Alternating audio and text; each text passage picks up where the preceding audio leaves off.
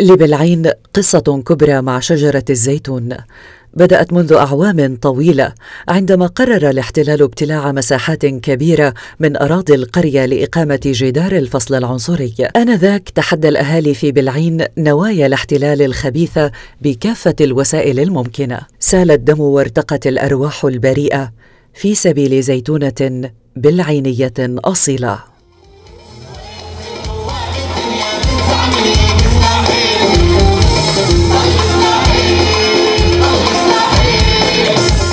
أشكال كثيرة لنضالهم الشعبي المقاوم ومن ضمنها المقاومة الثقافية وتتجلى في كل عام بتنظيم مهرجان الزيتون ونظمه بنسخته الثانية عشرة كما في كل عام مركز الهدف برعاية رئيسية من مجموعة بنك فلسطين وعدد من المؤسسات الشريكة ومن ضمنها صندوق الاستثمار الفلسطيني وشركة المشروبات الوطنية كوكاكولا كابي وهيئة مقاومة الجدار والاستيطان. هذا المهرجان تتويجا للعمل الوطني والثوري والمقاومة. وزعنا آلاف الأشجار الزيتون بدل الاحتلال اللي خلعها. لكن على أساس نظلنا مغروسين في هذا الأرض ومغروسين مثل شجر الزيتون ونحافظ على شجرة الزيتون من آه، من الانقراض آه، والاستيلاء عليها من قبل الاحتلال فإحنا في هذا مهرجاننا بنثبت الناس في أرضها وبندعمها بكل الإمكانيات. إحنا اليوم الراعي الرسمي في مهرجان الزيتون الثاني عشر.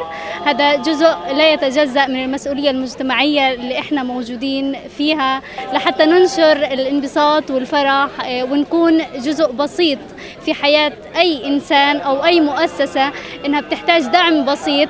لحتى إحنا نوصل ونوصل للناس فكرتنا. الهيئة تهتم بهذا الجانب والمتعلق بجانب الثقافي المقاوم. حينما نتحدث عن بلعين بلعين رمز المقاومة الشعبية وبالتالي كانت للهيئة دور من اللحظات الأولى في الوقوف إلى جانب بلعين في قصص بلعين مع شجرة الزيتون قصة للشهداء باسم وشقيقته جواهر. والدة الشهيدين كانت هنا وروحهما كانت هنا. وتشهد على قصتهما الذاكرة البلعينية راح على الجدار وبكت انطلاقة فتح وراح راح باسم على المسيرة. وجواهر الأخرى راحت على المسيرة وضربوهم بالغاز. والبنت انخنكت مشى السم في جسمها الفسفور من الأبيض. محرم دوليا صحيح. آه وباسم ضربوه كنبله في صدرهن بالمقام الأول يسعى مهرجان الزيتون لتعزيز صمود الأهالي وتثبيتهم بأرضهم ودعم صمودهم. وفي مقام ثان يعمل على فتح آفاق لمشاريع السيدات والفتيات الريفيات.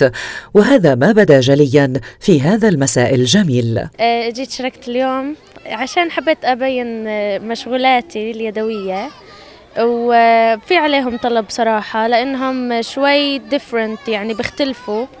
عن السناسيل والإكسسوارات اللي في السوق. عشان بعمل crepe waffle Nutella إيه، صنع يعني في البيت يعني أنا حاليا. إيه، بوصل طلبات يعني في البلد داخل البلد والله وبالعين يعني بيطلبوا مني عشان هيك تشجعت إني ارجع بالعين هاي أنا بخبز يعني بحب أنا أخبز يعني هذا اللي يعني ناس كثير بقول ليش تعبي حالك؟ وليش أنت مثلا مغلبة؟ بقول أنا خلص بحب هذا التراث أضل يعني مشغول فيه. هذه الأمسية الجميلة اكتملت بصورتها البهية بمشاركة الفرقة الوطنية الموسيقية التي قدمت وصلة من الأغاني التراثية الفلسطينية بطابعين فولكلوري وثوري. هو بصراحة أنا مبسوطة جدا من تفاعل الناس ومن النادر الصراحة يعني أو من الجماهير القليلة جدا اللي بتكون جدا مستمعة وقاعدة منتبهة على الفنان وبتسمع بكل هدوء وبكل رزانة. بصراحة يعني جمهور بالعين رائع جدا وإحنا كثير انبسطنا إنه غنينا لهم. لم ولن تنتهي قصة بالعين والزيتون. ستولد في كل عام وستتجدد سنويا إلى أن يكتمل القمر في ليلة حرية على زيتون بالعين.